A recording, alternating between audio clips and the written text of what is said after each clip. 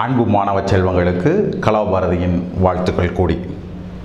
இப்போ ஒரு fantastic problem செய்ய போகிறோம் இது ஒரு குவான்டிடேட்டிவ் அனாலிசிஸ் இந்த அனாலிசிஸ் மூலமாக சில உண்மைகள் கிடைக்கும். இதை சார் உங்களுக்கு அந்த உண்மைகள் என்ன? அதுக்கும் எக்ஸ்பெரிமெண்டல் வெரிஃபிகேஷனும் எப்படி மேட்ச் ஆகுது அப்படிங்கிறத நான் உங்களுக்கு சொல்கிறேன் ஆனால் ஒரு விஷயம் நான் சார் இங்கே சொல்லணும். இந்த ப்ராப்ளமும் ஒரு அற்புதமான ப்ராப்ளம் யார் யாரெல்லாம் கோயிங் டுவர்ட்ஸ் ரிசர்ச் ரைட் அவங்களுக்கு இப்படிப்பட்ட ப்ராப்ளம் வந்து மிக மிக மிக மிக உதவியாக இருக்கும். அதுவும் மாணவ பருவத்தில் இப்படிப்பட்ட ப்ராப்ளம் சால்வ் பண்ணுறது அற்புதமான அனுபவம் அனுபவமாக இருக்கும். இங்கே பாருங்கள் the unit of length convenient on nuclear scale is one fermi ஒரு தகவல் சொல்கிறாங்க ஒரு ஃபெர்மினா ten to power of minus fifteen metre நியூக்ளியஸை வந்து மீட்டரில் அளக்க முடியாது. ஃபெர்மியில் தான் அளப்போம். நியூக்ளியர் சைசஸ் ஒபே ரஃப்லி தி ஃபாலோயிங் எம்பிரிக்கல் ரிலேஷன் என்ன relation R is equal to R naught into A power one by three R naught is a constant ஆருங்கிறது அதனோட ரேடியஸ் ஏங்கிறது அதனுடைய மாஸ் நம்பர் ஆர் நாட் கொடுத்துருக்காங்க is given as one point two fermi okay ஆருங்கிறது radius R நாட்டுங்கிறது one point two fermi show that the rule implies that nuclear mass density is nearly constant. இதுக்கு என்ன அர்த்தம் கேட்டிங்கன்னா பிள்ளைங்களுக்கு ஆங்கிலம் தெரியும். இருந்தாலும் அர்த்தம் புரிஞ்சு தெரியுதான்னு தெரியல. அதாவது நியூக்ளியஸ் அது ஹைட்ரஜனாக இருந்தாலும் ஹீலியமாக இருந்தாலும் சோடியமாக இருந்தாலும் பொட்டாசியமாக இருந்தாலும் என்னவாக இருந்தாலும் அதனுடைய டென்சிட்டி ஏறத்தாழ கான்ஸ்டன்ட் அப்படிங்கிறதை ஒரு நாள் காட்ட முடியுமா? அப்படின்னு கேட்குறாங்க okay estimate the mass density of sodium nucleus sodium nucleus உடைய மாஸ் டென்சிட்டி எவ்வளவு? அதை நம்ம ஏற்கனவே போன ப்ராப்ளம் இல்லாட்டி இந்த முந்தின ப்ராப்ளத்தை பாருங்கள் அதில் ஒரு மாஸ் டென்சிட்டி கண்டுபிடிச்சோம். அது நியூக்ளியர் டென்சிட்டி இல்லை. Atomic density. அந்த டென்சிட்டியவும் இந்த டென்சிட்டியவும் ஒப்பிட்டு பார்த்தா உங்களுக்கு என்ன தோன்றுகிறது அப்படின்னு கேட்டிருக்காங்க பிள்ளைங்களா? ஒவ்வொரு ஸ்டெப்பாக இதை செய்வோம். சரிங்களா?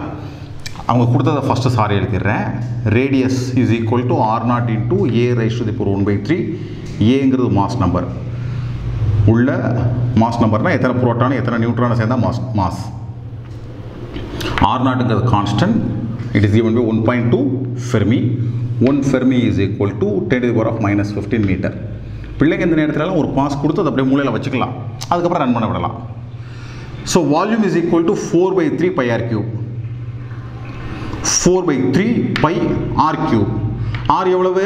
R naught into A power one by three மனசுக்குள்ளேயே சப்ஸ்டியூட் பண்ணுங்க. R naught cube one by த்ரீயை சப்ஸ்டியூட் பண்ணுங்க. ஏ அப்படியே எழுதிட்டேன். தனியாக எடு. போர்டில் இடம் கம்மியாக இருக்குது பிள்ளைங்களுக்கு கஷ்டங்கிறதுக்காக அப்படியே என்ன செஞ்சுட்டேன் சார்? மனசுலேயே செஞ்சு எழுதிட்டேன். So this is the volume of the nucleus அப்போ மாஸ் ஆஃப் தி நியூக்ளியஸ்னால் என்னது? ஒரு நியூக்ளியான் எவ்வளோ மாஸ் இருக்கும் into its into its mass number ஒரு நியூக்ளியானுக்கு எவ்வளோ மாஸ் இருக்கும் எத்தனை எத்தனை நியூக்ளியான் இருக்குது that is its mass number so ஒரு நியூக்ளியானுடைய மாஸை எம் நாட்னு வச்சுக்கிறோம். அப்படின்னா M naught into A simple முடிஞ்சு போச்சு. இப்போ நியூக்ளியஸோட டென்சிட்டி கண்டுபிடிக்கிறோம். Anything டென்சிட்டினா mass by volume so mass M naught into A வேறு எம் நாட்டுங்கிறது ஒரு நியூக்ளியானுடைய மாஸ் ஏங்கிறது எத்தனை நியூக்ளியான்ஸ் இருக்குது that is mass number we கண்டுபிடிச்சி வச்சுருக்கோம் four by three pi pi R naught cube A so A A cancel ஆயிரும். Three M naught divided by four pi R naught cube இதை பாருங்கள் பிள்ளைங்களா. இதை பாருங்கள் இதுதான் நியூக்ளியஸுடைய டென்சிட்டிக்கான எக்ஸ்பிரஷன் இதை நீங்கள் கவனிச்சிங்கன்னா என்ன பார்ப்பீங்கன்னு கேட்டிங்கன்னா சி எம் நாட்டுங்கிறது ஒரு நியூக்ளியானுடைய மாஸ் அதாவது புரோட்டான் நியூட்ரானுடைய average mass R நாட்டுங்கிறது one point two fermi constant அப்போ இது everything is almost constant அப்போ என்ன அர்த்தம் பிள்ளைங்களா? என்ன அர்த்தம் கேட்டிங்கன்னா மாஸ் நம்பருக்கும் அதனுடைய நியூக்ளியருடைய நியூக்ளியஸோட டென்சிட்டிக்கும் சம்மந்தமே இல்லை. It is independent it is independent அப்படிங்கிறது நம்மளுக்கு தெரியுது. இது எவ்வளோன்னு கண்டுபிடிப்போம். சோடியம் அடுத்தது. பார்த்தீங்கன்னா three into this is constant one point six six into ten minus twenty seven four into pi into R naught ஏற்கனவே பார்த்தோம்.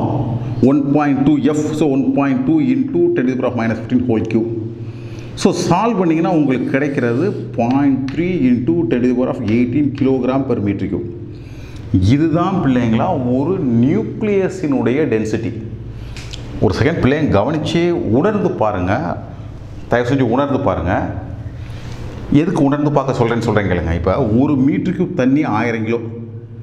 ஆயிரம்னா ten to power of three KG ten to power of three இது ten to power of eighteen ten to power of eighteen you try to understand right நம்ம கேட்டிருக்காங்க. Exercise two point two செவனில் நீங்கள் சோடியத்தினுடைய density கண்டுபிடிச்சிங்களா? ஆமாம் கண்டுபிடிச்சோம். அது எவ்வளோ வந்துச்சு? இங்கே வந்துச்சு. ஐநூற்றி முப்பத்தி நாலு kilogram per metre cube five thirty four இப்போ ரெண்டையும் கம்பேர் பண்ண சொல்கிறாங்க கம்பேர் பண்ண என்ன பிள்ளைங்களா தெரியுது?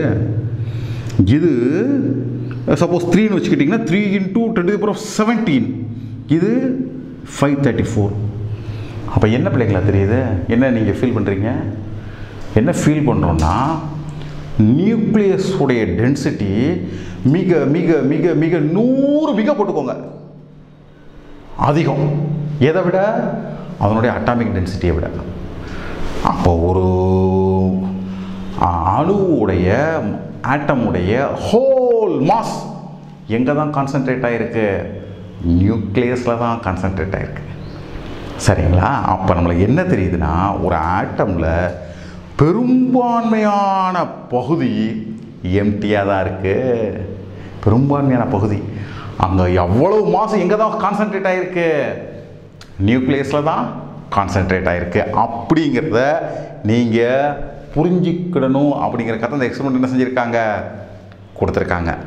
இதை எந்த பரிசோதனை மூலமாக நிரூபித்தாங்க அப்படிங்கிறத நீங்கள் படித்து சாருக்கு கமெண்ட் பண்ணுங்கள் பார்க்கலாம். சரியா? அது மாதிரி பிள்ளைங்களா சேனலுக்கு சப்ஸ்கிரைப் பண்ணுங்கள் பண்ணால் நாங்கள் புது வீடியோ போட்டால் உங்களுக்கு நோட்டிஃபிகேஷன் வந்துடும் உங்களுக்கு தெரிஞ்சிடும் அதுக்காக தான் சப்ஸ்கிரைப் பண்ண சொல்கிறோம் வேறு காரணம் இல்லை. மற்றபடி உங்களை சுற்றி இருக்கக்கூடிய ஏழை குழந்தைங்க எத்தனையோ பேர் இருப்பாங்க. அவங்களுக்கெல்லாம் நம்ம சேனலை என்ன செய்யுங்க? அறிமுகப்படுத்தி விடுங்க. அவங்களோட வாழ்க்கையில் என்ன உண்டாகட்டும்? மாற்றம் உண்டாகட்டும். உங்கள் அனைவருக்கும் கலாபாரதியின் அன்பு வாழ்த்துக்கள்.